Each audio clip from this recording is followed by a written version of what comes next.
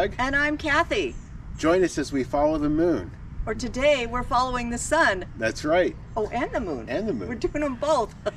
today is Monday, April the 8th. We are in Whitney, Texas, which is in the path of totality of the eclipse. It is supposed to be cloudy, although right now the skies are starting to break and we're getting some sunshine, so we're excited. Yes, we are. It's about 10.30 Central Time as we're filming this. Uh, the partial is supposed to start around 12.30. Yep. And we are going to be out here shooting to try and put a great uh, eclipse video together for you if the clouds hold off. And it's very, very iffy about that. Actually, I think the totality is supposed to start at 12:30. So yes, we're starting the partial right now. Okay. So, yeah. So anyhow, we'll be shooting this as we go along to bring you the footage. We don't know what we're going to have for you at the end of this video, but come along with us and enjoy the eclipse. Thanks. Now here we are getting set up. We've got a total of six cameras that we'll be using during the day today. And we are here in Thousand Trails Lake Whitney, right outside our campsite, and we've got a great view of the sky. Not just us, but it looks like everybody's coming out to see what's going on today.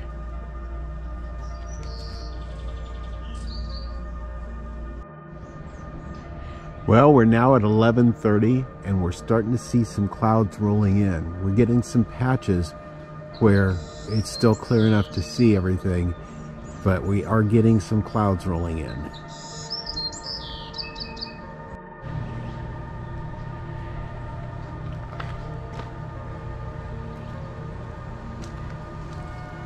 Well, it's just about 12.15. The sun is still out. And everybody is getting outside and getting ready.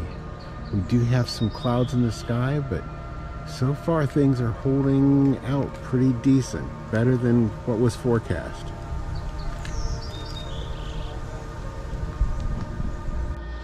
And you can see people are starting to get out and get their gear set up for the big event.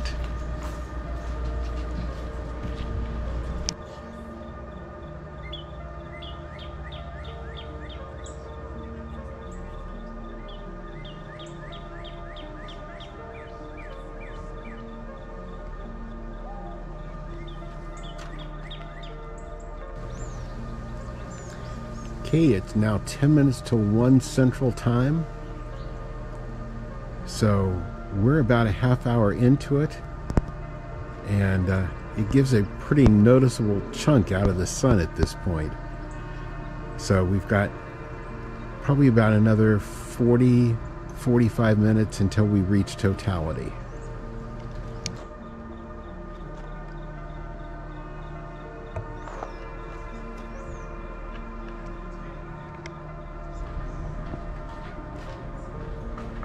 And we're about one o'clock and we're starting to get some clouds rolling in.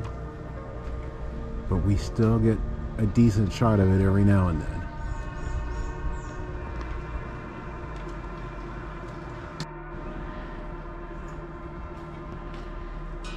And Cathy has not given up on it.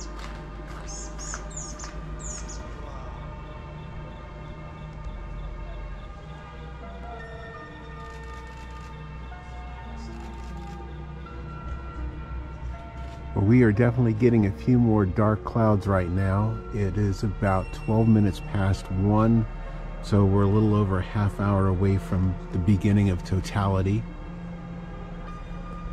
Yeah, hoping that we get some breaks in the clouds. What we're seeing over here, definitely a lot more blue to the sky, but the skies are just darkening in general because there's less sunlight.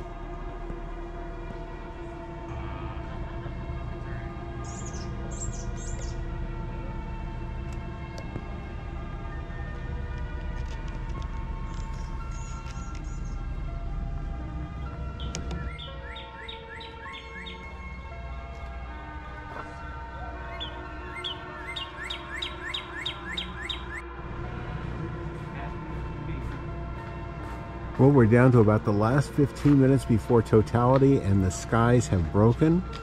We've got nice blue skies right now, hoping it lasts.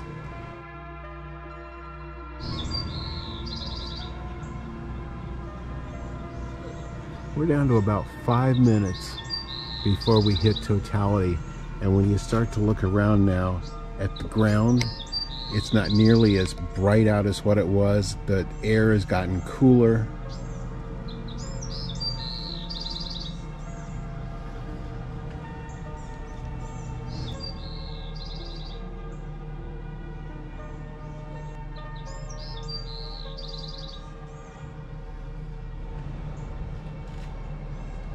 We're down to just a sliver, but it keeps getting darker and darker. And on the camera, you don't really appreciate how much darker it's got gotten.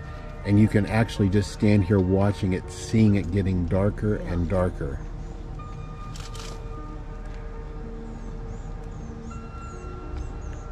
I think we're about two minutes away from totality at this point, and we have got a beautiful clear sky. We are lucking out.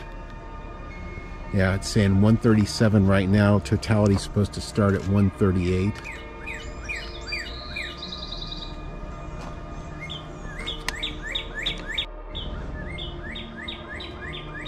Just in the last minute, it's gotten darker and it's like somebody's just shutting the lights off right now.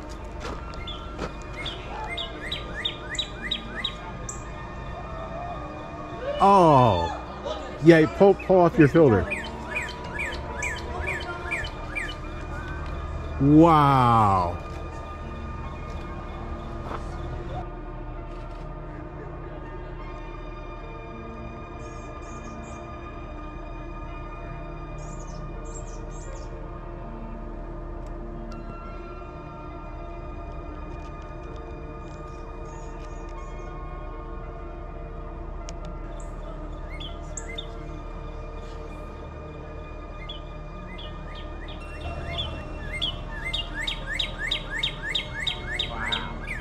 I can't believe we got that.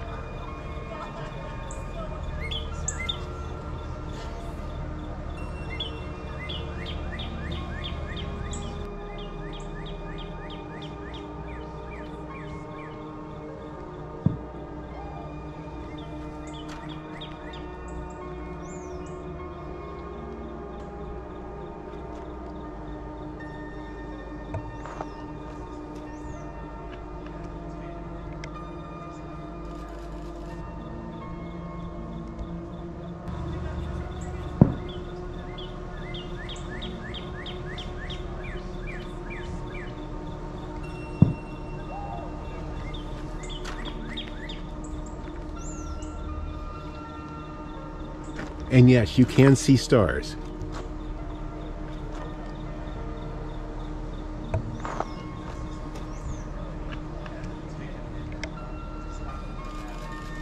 That's how dark it has gotten.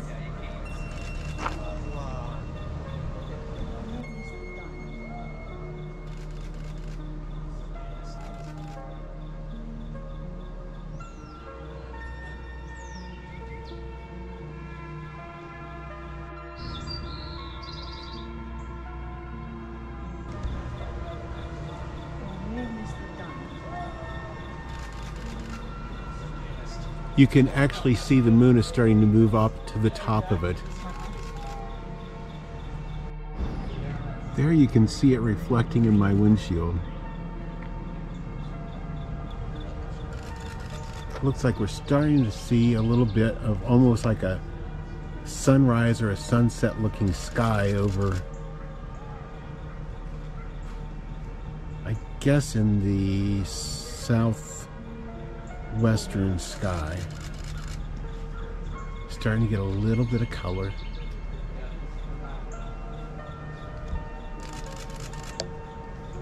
Totality here is supposed to be 138 to 142 and it's 142 right now and you can uh, just start to see that the one edge is getting thinner on it.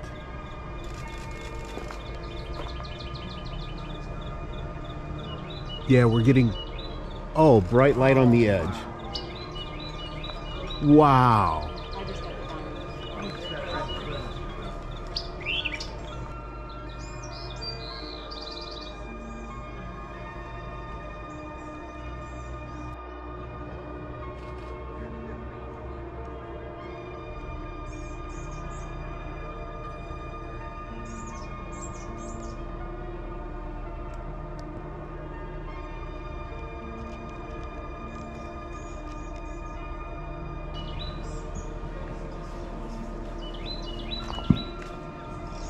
And that quickly, that passed, according to the clock on my camera, 40 seconds. And we have daylight again.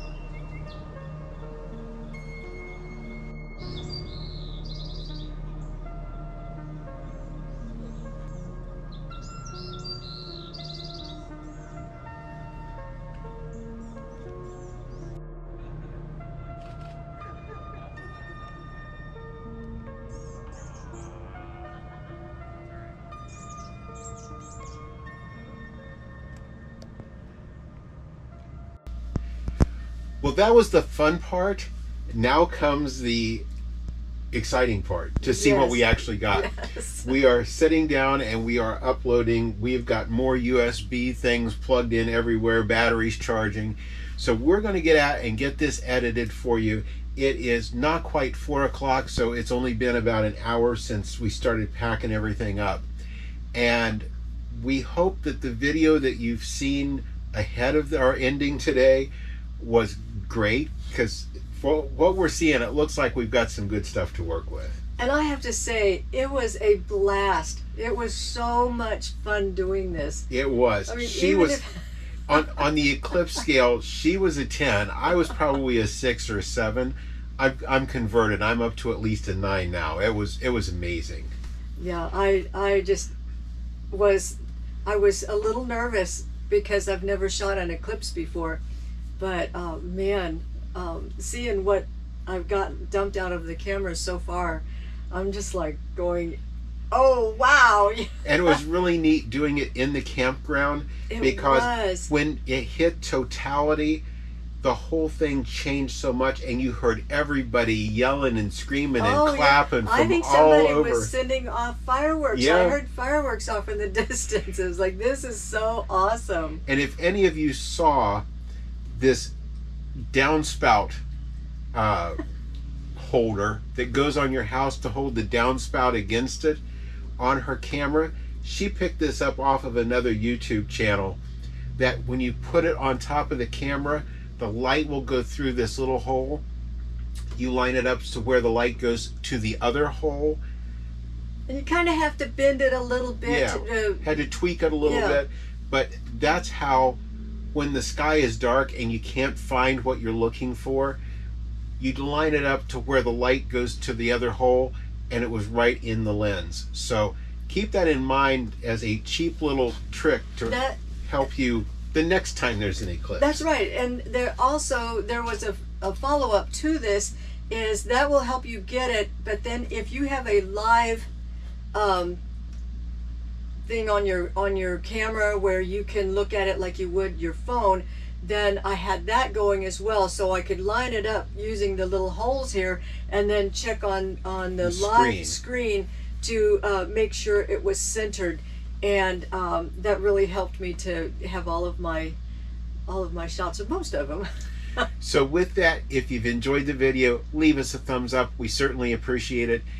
At the end of the video, you'll see a button in this top corner. If you haven't already subscribed, click that button. You can subscribe and ring the notification bell so you'll know when every one of our videos come out. and thank you for following us as we are following that moon Absolutely.